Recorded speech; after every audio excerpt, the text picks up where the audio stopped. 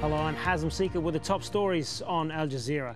The man with the task of ending the crisis in Syria has been talking to Al Jazeera.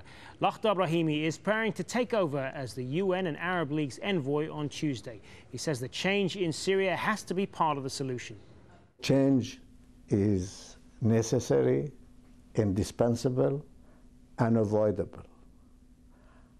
What kind of change and what phases that change will take place is something that we are going to discuss.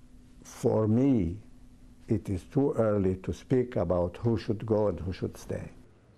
Angola's ruling MPLA party looks set for a comfortable win in the country's national election.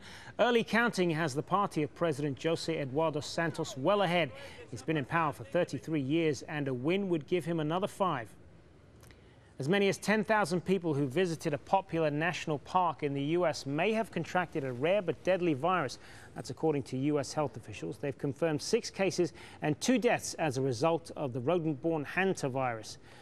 Preparations are underway in Ethiopia for the state funeral of Prime Minister Meles Zenawi. He died two weeks ago of an undisclosed illness in a Belgian hospital. Heads of state from across Africa are expected to attend the funeral. And you can find the latest on all those stories and more at aljazeera.com.